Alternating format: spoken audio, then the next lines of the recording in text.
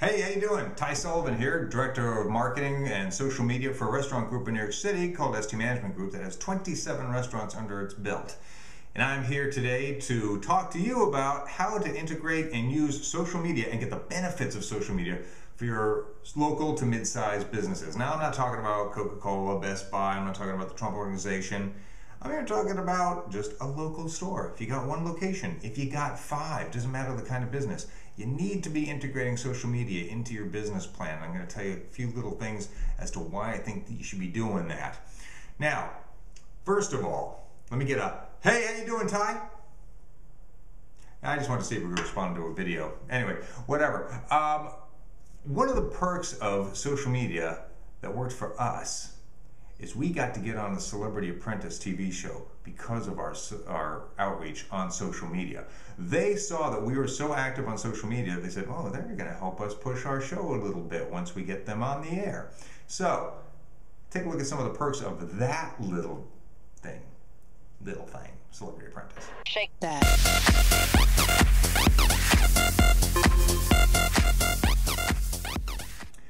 I know, just about now you'd probably like my autograph because of all my celebrity involvement, but that's not going to happen because you're in Campbell River and I'm in New York City. Anyway, let me tell you another little story about the power of social media. I was speaking at a conference on social media and customer service relations in Dallas, Texas, and I posed a question to the audience. I said, how many of you are following the Cafe Metro brand on social media, particularly Twitter?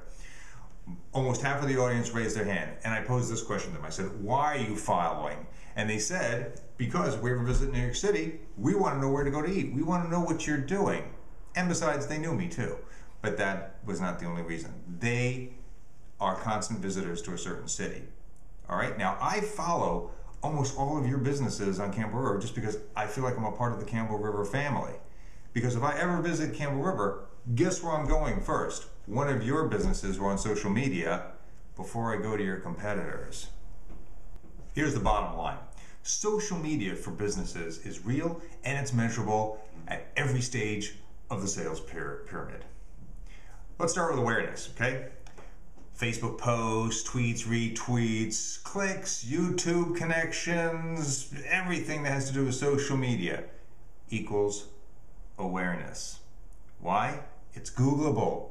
It's a Google world, man. We're all about Google. I can Google anything. I can Google your guys. Well, no, I'm not going to get creepy there and tell you all about your shoe sizes and things like that.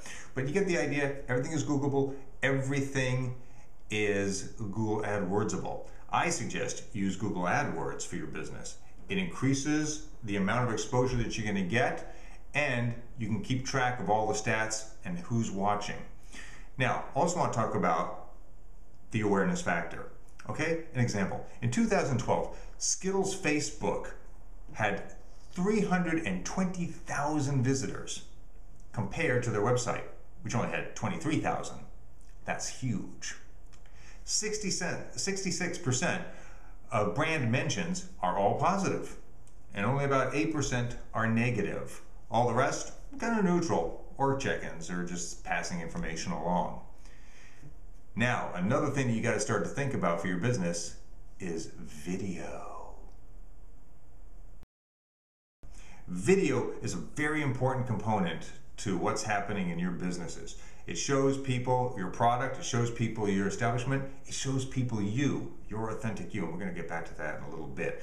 But let me tell you something. A small blender company put out a video that cost them $50 to make. They saw a 650% increase in visitors to their little blendertech.com and a 500% sales increase. $50 video, maybe two hours to make, local talent. You get the picture? When it comes to customer service, and speaking about customer service at seminars, panels, and conferences, I'm very serious. Help! I need somebody. Help! Not just anybody. Help! You know I need someone. Help! Clearly, as you can see, it's true. But let me tell you something. Customer service can translate into social media. How? Total transparency. At our company, we open up our channels. We encourage people to utilize Yelp, to utilize Twitter, to utilize Facebook, to tell us what we're doing right and what we're doing wrong, because we can only get better when we know when something is amiss. Yeah. Social media opens up the channels to answer questions by customers, which drives your ROI by reducing the cost of answering those questions.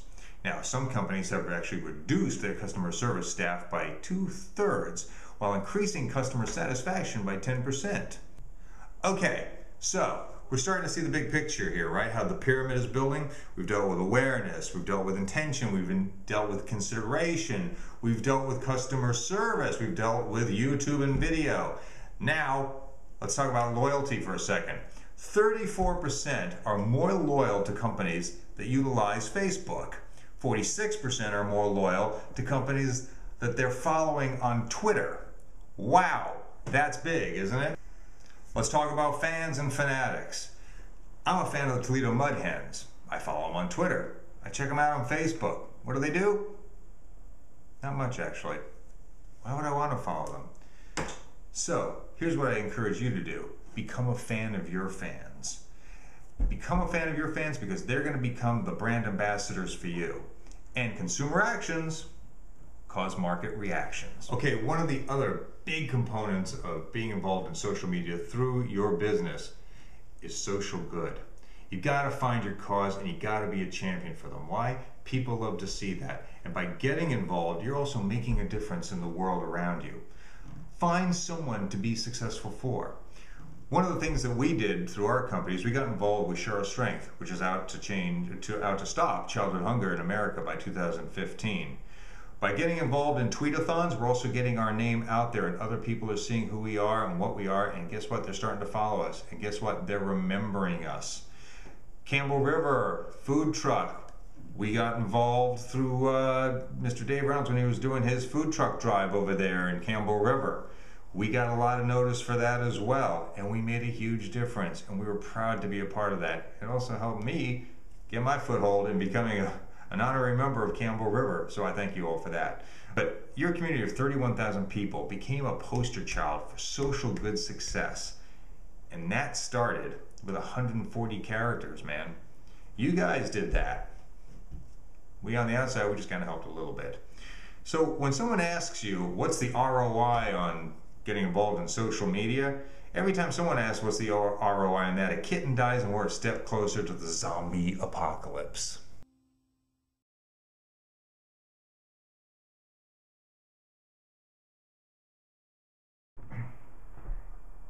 And now it's time for the reward ceremony for the people in the Campbell River who get the social media. The award for people who understand social media are Stephen Bungeon of Marine Harvest, Corey Laybourne of Minibus Tours, Olivia Strutt Jewelry, Paramount Music Hall, Kate Holmes, a mortgage, mortgage broker. Why I'm following her, I don't know because I'm not into real estate. But you know what? If I ever buy in Campbell River, I'm going to know where to go. Chris Patterson, Take Flight Design, Jonathan of Caravan Marketing, Shay Code, David McMillan, Sean Smith, and of course, Linda Allen Photography.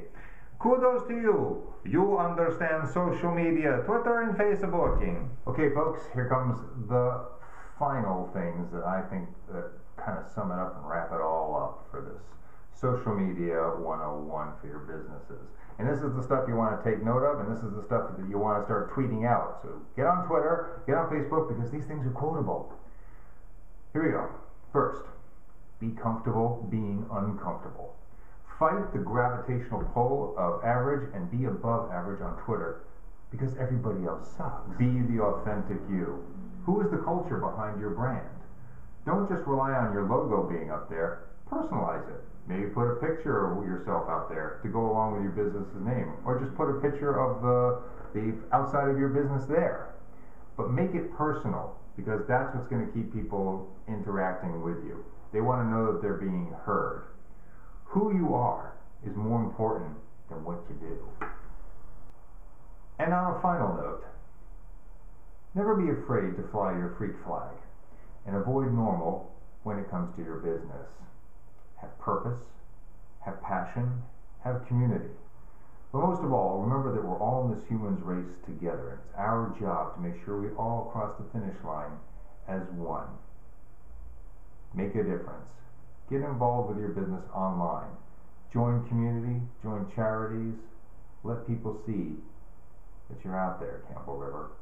I know that you are. Thank you for making me a part of your community. Now go on, get out of here before I get all sentimental and weepy and things like that. Take care, Campbell River. As always, it's a pleasure. Three, two, one. Ty out.